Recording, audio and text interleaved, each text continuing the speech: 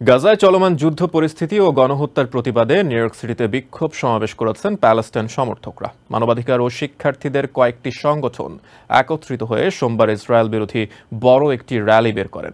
র্যালির এক পর্যায়ে পুলিশের সাথে সংঘর্ষ হয় বিক্ষোভকারীদের। প্যালেস্টাইনকে সমর্থন করে হাতে প্রতিবাদের ব্যানার ফেস্টুন আর মুখে উচ্চারিত হচ্ছে ইসরায়েলের বিরুদ্ধে বিভিন্ন স্লোগান। সোমবার নিউ ইয়র্ক সিটির বিভিন্ন সড়কে প্যালেস্টাইনকে সমর্থন করে কয়েকটি মানবাধিকার সংগঠন একত্রিত হয়ে একটি বিক্ষোভ সমাবেশ করে। সড়কে বড় একটি রিলিফ বের হতে দেখা যায়। র্যালিটিতে যুক্ত রয়েছে সমাজকর্মী, স্বাস্থ্য নিয়ে কাজ করা সংগঠন সহ শিক্ষার্থীদের সংগঠনও।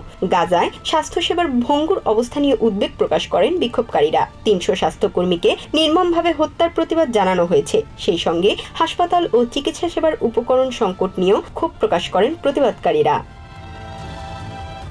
বিশেষ করে শিশুদের প্রতি ইসরায়েলের নৃশংস আচরণ বর্ণনা করতে গিয়ে অনেক আন্দোলন কর্মীরাই আবেগপ্রবণ হয়ে পড়েন। এই সহিংসতা বন্ধে বিশ্ব নেতাদের প্রতি দৃষ্টি আকর্ষণ করেন তারা।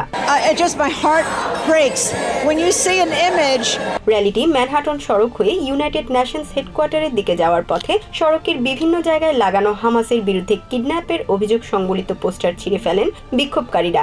বিভিন্ন বাড়ির ব্যালকনিতে ঝুলানো ইসরায়েলের পোস্টার দেখে তারা সেসব বাড়িতে বসবাসকারীদের প্রতি ক্ষোভ প্রকাশ করতে থাকেন।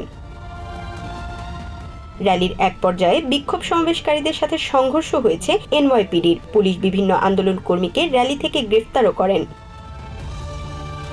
Pinki Akter, TVN twenty four news desk.